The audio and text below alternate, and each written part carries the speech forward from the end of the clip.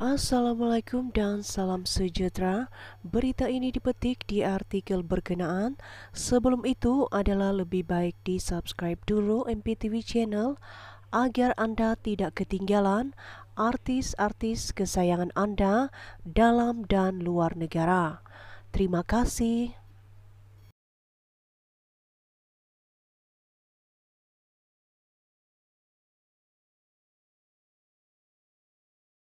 Dipetik dari Keratan Akbar, Selepas sekian lama mendiamkan diri, pelakon Ira Kazar tampil mempertahankan diri susulan dia dituduh memiliki akaun palsu yang digunakan untuk mengganggu bekas madunya yaitu Putri Sarah Liana.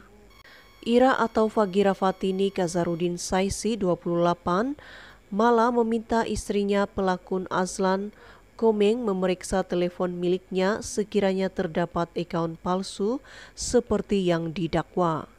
Dekat mana aku buat akun palsu? Coba tengok telepon aku kak, pantau sikit telepon aku, katanya. Ira berkongsi perkara itu semasa muncul dalam video siaran langsung istri aktor berkenaan yaitu Nur Nailam di TikTok. Dalam siaran langsung itu, Nur Nailam memberitahu Ira hanya memiliki satu telepon saja bagi memastikan netizen tidak terus membuat sebarang tuduhan terhadap Ira. Aku tahu Sarah orang baik, Ira pun orang baik, cuma buat macam mana.